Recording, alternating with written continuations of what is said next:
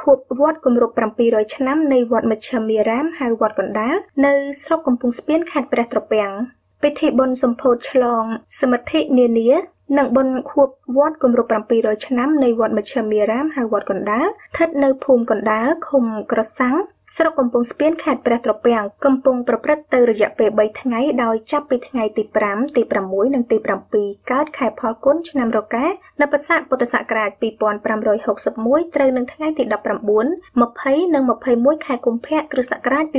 2018ដោយមាននិមន្តព្រះសង្ឃ700អង្គរាប់បាត ក្រៅពីការប្រារព្ធពិធីបុណ្យខួប700ឆ្នាំនៃការកកើតវត្តពិធីបុណ្យនេះក៏បានដាក់សម្ពោធឆ្លងនៅសមិទ្ធផលនានា ដែលវត្តបានកសាងដូចជាសាលាធម្មសភាចេតិយបណ្ណាល័យខ្លោងទ្វារបង្គោលទង់និងរបងវត្តបើតាមគណៈកម្មការចាត់តាំងបុណ្យបានបញ្ជាក់ថាតំណាងព្រះសង្ឃនិងពុទ្ធបរិស័ទចំណុះជើងវត្តនានាទូទាំងដែនដីកម្ពុជាក្រោមត្រូវបាននិមន្តនិងអញ្ជើញឲ្យចូលរួមពិធីបុណ្យមួយនេះលើសពីនេះព្រះសង្ឃចំនួន700អង្គដែលបាននិមន្តចូលរាប់បាតគណៈកម្មការបុណ្យបានប្រគេនតេយ្យទាននិងបច្ច័យ4ក្នុងមួយអង្គមួយអង្គចំនួន1លានដុងឬស្មើនឹង50ដុល្លារអាមេរិកគួរជម្រាបជូនថាវត្តមជ្ឈិមមារាមហៅវត្តកណ្ដាលកសាងនៅពុទ្ធសករាជ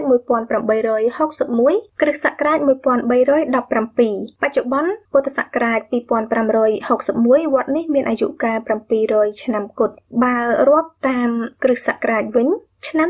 2018វត្តនេះមានអាយុកាល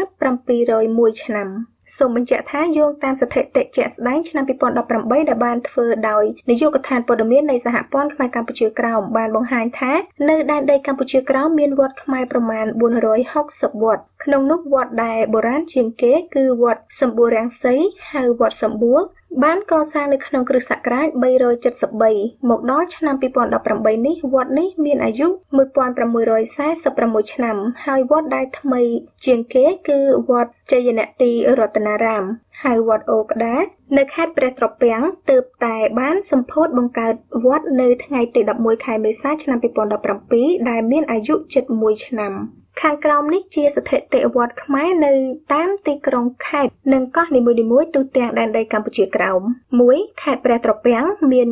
143វត្ត2ខេត្តឃ្លាំងមាន92វត្ត3ខេត្តក្រមួនសមាន74វត្ត 4ខេត្តមាត់ជ្រូកមាន66វត្ត5ខេត្តពោធិ៍លាវមាន22វត្ត6ខេត្តហៅយ៉ាងមាន15វត្ត7ខេត្តលង្ហោមាន13វត្ត8ខេត្តព្រៃឫស្សីមាន12វត្ត9ខេត្តទឹកខ្មៅមាន6វត្ត10ខេត្តរោងដំរីមាន6វត្ត11ខេត្តទួលតាម៉ុកមាន4វត្ត 12ខេត្តអូកាប់មាន2វត្ត13ទីក្រុងព្រៃនគរមាន2វត្ត14ខេត្តដូនណៃមាន2វត្ត15កោះត្រល់មាន1វត្តក្នុងចំណោមវត្តទាំងអស់នេះមានវត្តជាច្រើនដែលមានអាយុជាងពាន់ឆ្នាំតែគេមិនទាន់ឃើញគណៈកម្មការវត្តណាមួយធ្វើបុណ្យខួបវត្តនៅឡើយក្រៅពីវត្តមជ្ឈិមមារាម ការធ្វើពិធីបុណ្យខួបវត្តនេះត្រូវបានគេមើលឃើញថានឹងធ្វើឲ្យពលរដ្ឋខ្មែរនៅដែនដីកម្ពុជាក្រោមដឹងថាខ្លួនជាម្ចាស់ស្រុកនៃដែនដីកម្ពុជាក្រោមតាំងពីបុរាណកាលមកបើយោងតាមឆ្នាំក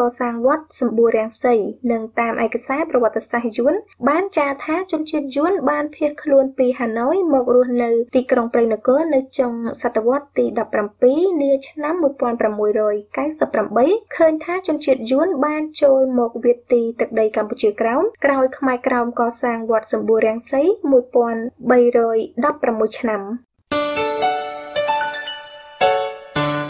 នៅដើមខែមិថុនាខាងមុខនេះសហព័ន្ធខ្មែរកម្ពុជាក្រោមនឹងរៀបចំសន្និសីទអន្តរជាតិមួយនៅក្នុងអគារព្រឹទ្ធសភានៃប្រទេសបារាំងដើម្បីធ្វើការតស៊ូមតិលើឆាកអន្តរជាតិឲ្យមជ្ឈដ្ឋានបរទេសយល់ដឹងអំពីប្រជាជាតិខ្មែរកម្ពុជាក្រោមកាន់តែច្បាស់ជាងមុននិងជំរុញឲ្យបរទេសជួយស្វែងរកដំណោះស្រាយក្នុងការធ្វើឲ្យរដ្ឋាភិបាលវៀតណាមគោរពសិទ្ធិជនជាតិដើម ខ្មែរក្រោមនៅដែនដីកម្ពុជាក្រោមលោកថាច់វឿងអាននៅខ្លឹមសារដើមនៃសេចក្តីជូនដំណឹងអំពីសន្និបាតនេះដូចតទៅសេចក្តីប្រកេននឹងជូនដំណឹងអំពីសន្និសិទអន្តរជាតិរបស់សហព័ន្ធខ្មែរកម្ពុជាក្រោមស្ដីពីសិទ្ធិមនុស្សនៅក្នុងប្រទេសវៀតណាម ផ្ដោតលើករណីជនជាតិដើមខ្មែរក្រោមសហព័ន្ធខ្មែរកម្ពុជាក្រោមនឹងរៀបចំសន្និសិទអន្តរជាតិនៅប្រទេសបារាំង ក្រមប្រធានបទសិទ្ធិមនុស្សនៅក្នុងប្រទេសវៀតណាម ផ្ដោតលើករណីជនជាតិដើមខ្មែរក្រោមដែលនឹងប្រព្រឹត្តទៅនៅថ្ងៃសៅរ៍ទី2ខែមិថុនាឆ្នាំ2018ខាងមុខនេះ នៅក្នុងអាគារព្រឹទ្ធសភាបារាំងនាទីក្រុងប៉ារីសន្និសីទនេះរៀបចំដោយ សហព័ន្ធខ្មែរកម្ពុជាក្រោមអង្គការប្រជាជាតិនិងប្រជាជនគ្មានតំណាង UNPO និងសមាជិកព្រឹទ្ធសភាបារាំងថ្នាក់ដឹកនាំសហព័ន្ធខ្មែរកម្ពុជាក្រោមនៅប្រទេសនានាជុំវិញពិភពលោក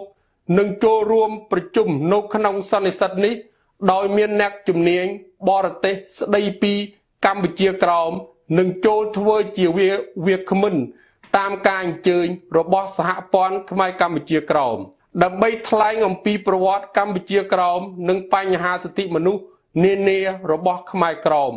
ដែលកំពុងតែប្រឈមនឹងការរំលោភសិទ្ធិមនុស្សពីសំណាក់រដ្ឋាភិបាលបកកុម្មុយនីសវៀតណាមសពថ្ងៃ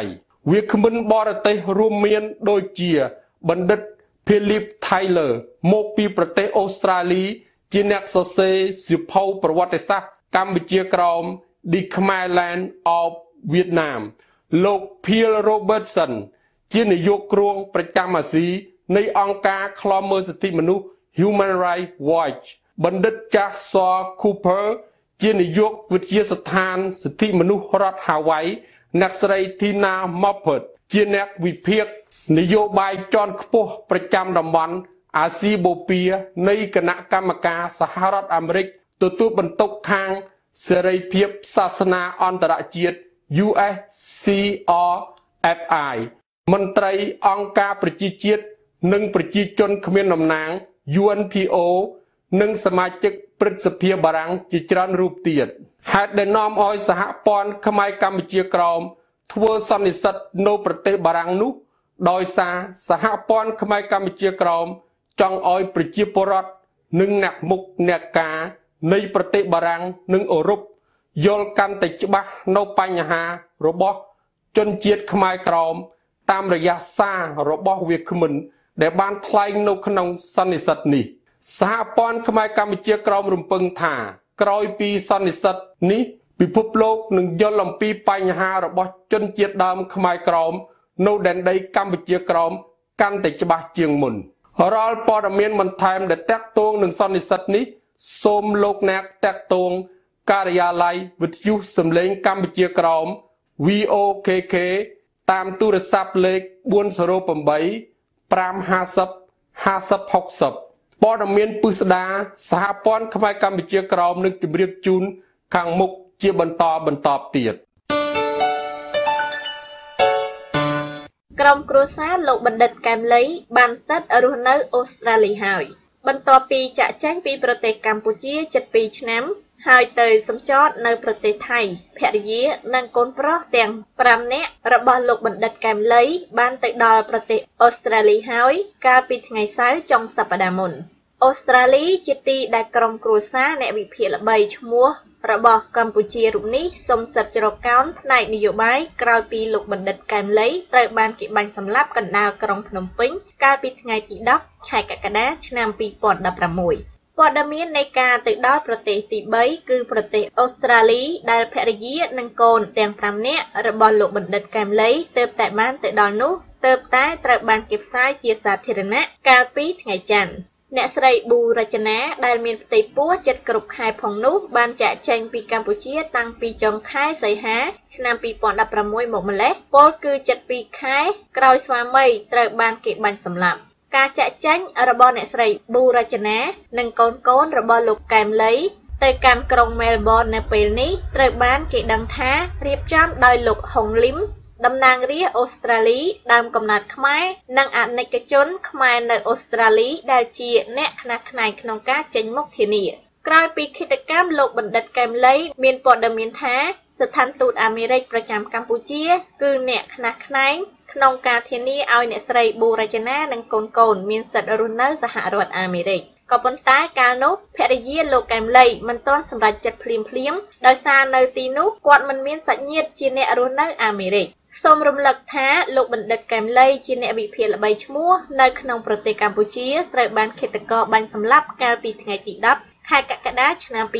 2016នៅក្នុងហាងទំនិញមួយកន្លែងនៃស្ថានីយ៍ប្រេងឥន្ធនៈកាល់តិចក្បែរស្តុបបូកូ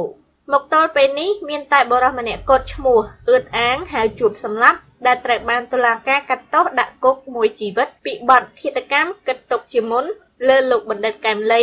គណៈក្រុមអង្គការសង្គមស៊ីវិលនិងអតីតគណៈបកប្រឆាំងនៅតែមិនជឿថាមានជនជាប់ពាក់ព័ន្ធតែម្នាក់នោះចា៎លោកអ្នកស្ដាប់ជាទីមេត្រី